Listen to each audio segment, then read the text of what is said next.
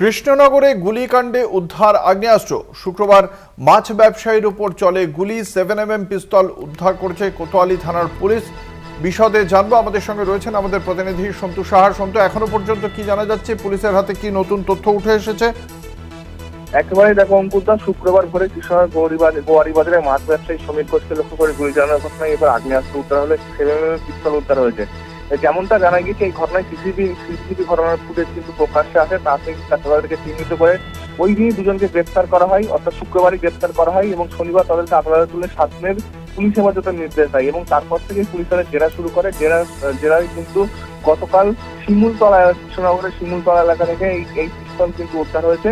তার পাশাপাশি এই যে পিস্তল কোথা থেকে এলো, তা কিন্তু জানতে চেষ্টা করছে পুলিশ। এছাড়াও কি কারণে এই ধরনের গুলি চালানোর ঘটনা, তাও কিন্তু জানতে তদন্ত শুরু করেছে পুলিশ। তাদেরকে জিজ্ঞাসাবাদ করছে পুলিশ। শঙ্কর দাস ধন্যবাদ। আমাদের সঙ্গে ছিলেন আমাদের প্রতিনিধি সন্তোষ সাহা।